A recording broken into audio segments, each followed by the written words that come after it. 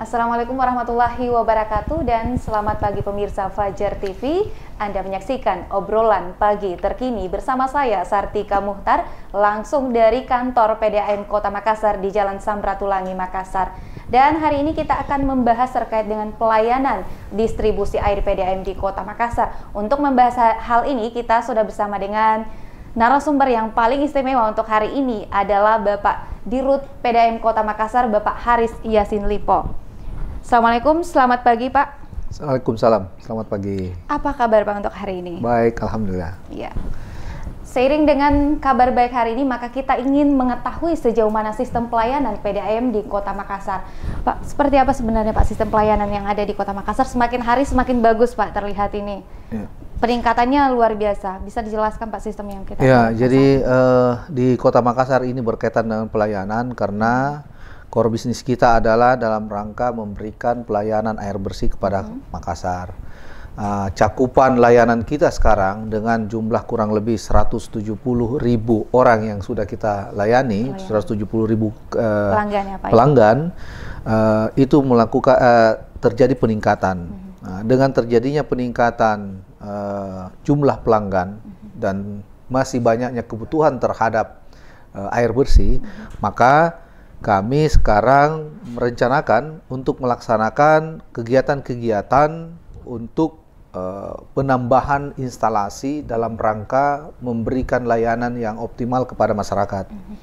Uh, untuk program akan datang untuk melayani terhadap air bersih itu kita ada beberapa perencanaan untuk proyek uh, penambahan Apa saja atau itu, upgrading ya. Yang pertama kita akan mengangkat, menambah kapasitas produksi kita, khususnya di Macini Antang. Uh-huh. Yang kedua kita akan menambah operating kita di daerah ini, di instalasi Ratulangi yang lama ini. Uh-huh. Dan ada beberapa proyek yang sementara kita melakukan uh, feasibility study-nya, uh-huh. itu khusus melayani daerah utara dan timur kota. Uh-huh.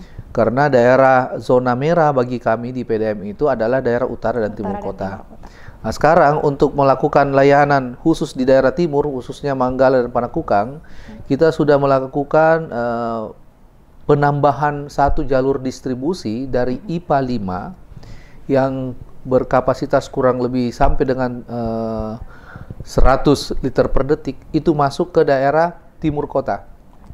Kenapa di timur kota? Supaya daerah Antang, Manggala, Panakukang dan sekitarnya itu bisa terdistribusi dengan baik. Nah, layanan-layanan inilah yang uh, coba kita lakukan. Uh, memang ada beberapa uh, kendala, khususnya dalam rangka penangka, penangkapan apa air bersih, yaitu khususnya pada bulan uh, kemarau. Ya, ya. Seperti yang terjadi saat ini. Ya, ya, kita memasuki bulan kemarau ini, debit kita itu yang paling drastis uh, turun adalah sumber air baku kita di Sungai Lekopacing. Mm -hmm. Nah, dengan terjadinya penurunan uh, air baku di Sungai Leko Pacing, ya. otomatis akan menurunkan debit yang akan kita suplai kepada mhm. -huh. masyarakat. masyarakat. Uh, untuk mengantisipasi ini, PDM uh, harus berupaya paling tidak masyarakat itu mendapatkan air bersih dalam sehari. Uh -huh. uh, makanya kita akan melakukan uh, pemompaan air baku ya. yang dari Jenek Berang untuk masuk ke instalasi di Panahikang hmm. di Sombopo supaya tetap ada air. Meminimalisir ya karena uh, minimalisir, sudah ya. mulai. Cuman memang pasti masyarakat agak terganggu sedikit, hmm. ya.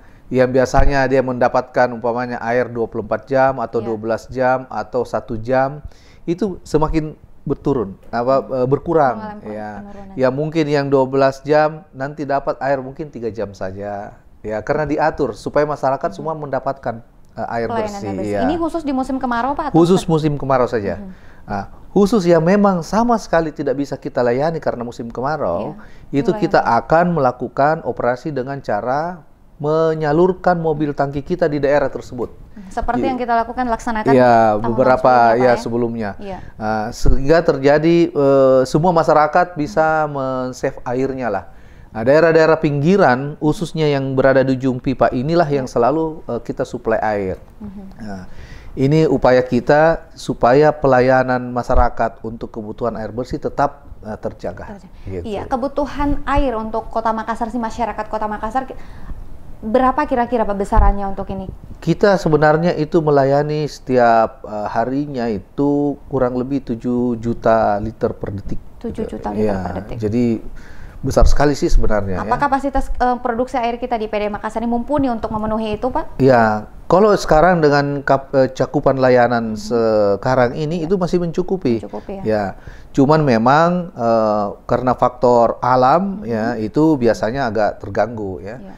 Nah, untuk mendapatkan layanan air bersih berikutnya karena kita juga dituntut untuk memperluas cakupan layanan, makanya uh, itu tadi PD melakukan uh, penambahan kapasitas di instalasi dan mungkin akan membangun satu instalasi baru lagi hmm, gitu. Baik. Dan pemirsa kita masih akan kembali dengan perbincangan kita selanjutnya masih terkait dengan pelayanan di PDAM Kota Makassar namun kita harus jeda terlebih dahulu. Tetaplah di obrolan pagi terkini.